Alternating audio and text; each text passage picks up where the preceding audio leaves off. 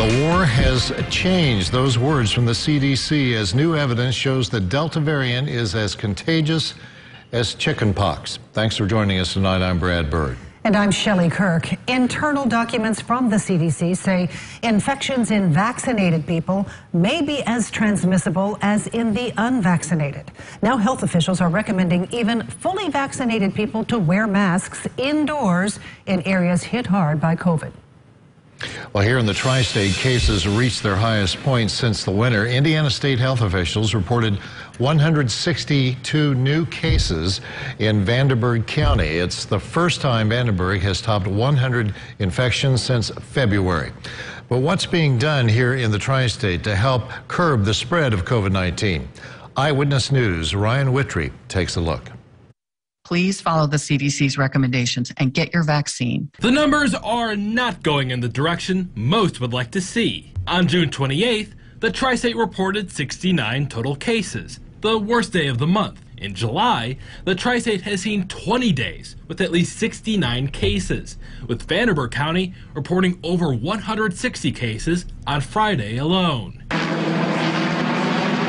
Doctors say they're starting to see COVID patients from other parts of the country spill into the tri state, even as local cases increase. Locally, we're seeing more cases, you know, on a daily basis. So uh, we're seeing that across the region.